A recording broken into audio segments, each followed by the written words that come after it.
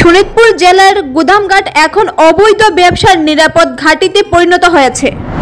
বিলম্বে হলেও চরিদুয়ার থানার পুলিশ গুদামঘাটের অবৈধ ব্যবসায় ঘাঁটিতে অভিযান শুরু করেছে।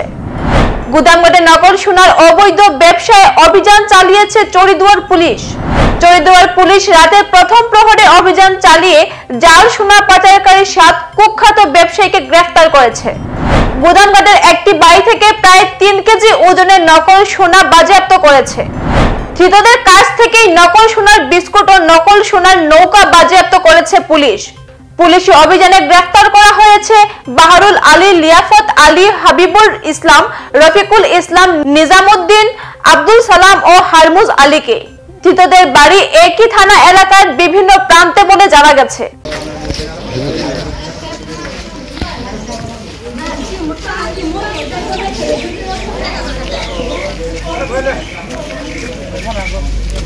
চিধা কৰি দিম না? গোটেইকেইটাক চিধা কৰ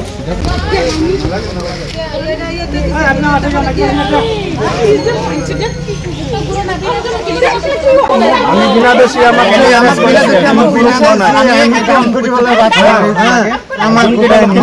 আনি পেলাই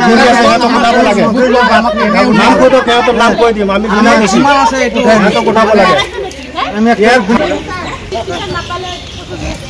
এখনকার মতো বিদায় নিচ্ছি। পরবর্তী অন্যান্য সংবাদ পেতে পূর্বাঞ্চল পতনের পর্দায় চোখ রাখুন। ধন্যবাদ।